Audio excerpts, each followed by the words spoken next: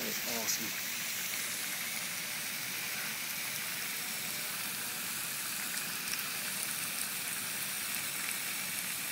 November 18th, 2010, at a uh, uh, commercial location. Got a hydrant that is completely split right up vertically up the barrel.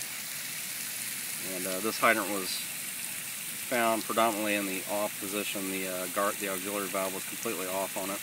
And uh, when I went to turn the auxiliary valve on, this is what happened. Water started spraying. So obviously this hydrant was uh, turned off from the valve. Uh, no notification that it was out of service on the hydrant at all.